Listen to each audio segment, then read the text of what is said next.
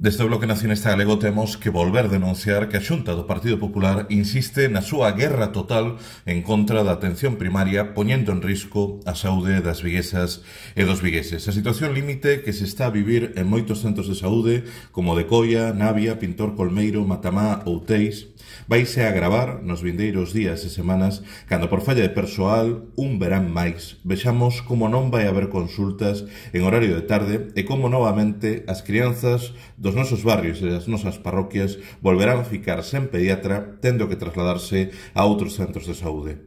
Unha situación que vai provocar, como ten sucedido reiteradamente nos últimos tempos, a saturación tanto do punto de atención continuada de Pizarro como das urxencias do Hospital Álvaro Cunqueiro. Parece que para o Partido Popular as viguesas e os vigueses non podemos enfermar en verán.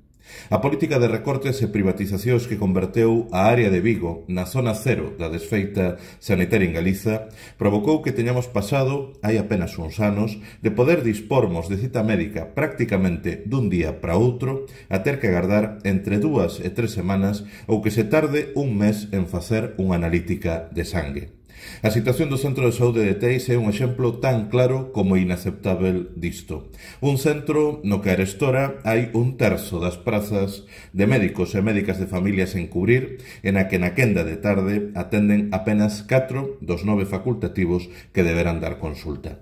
Por iso, recollendo o clamor da veciñanza que se ten mobilizado nas últimas semanas e para dar resposta ás demandas trasladadas públicamente pola Asociación Veciñal de Teis, O Bloque Nacionalista Galego, a través da nosa deputada Alexandra Fernández, vimos de registrar unha batería de iniciativas para exixirmos que o Sergas garanta unha atención sanitaria en condicións co persoal necesario.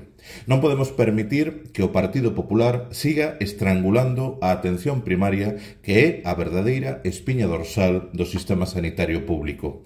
E por iso non imos deixar de dar a batalla por unha sanidade pública e de calidade. Dende o BNG vimos de trasladar unha denuncia ao Parlamento galego do desmantelamento que se está dando no Centro de Saúde de Teis. Para os veciños deste barrio, ter médico de cabeceira xa é máis unha lotería, unha especie de golpe de sorte do que un dereito garantido, porque dunha plantilla de 18 médicos hai seis plazas que non están cubertas e, en concreto, cinco deses médicos que faltan consultaban no turno de tarde. Por tanto, as tardes hai unha situación de colapso total.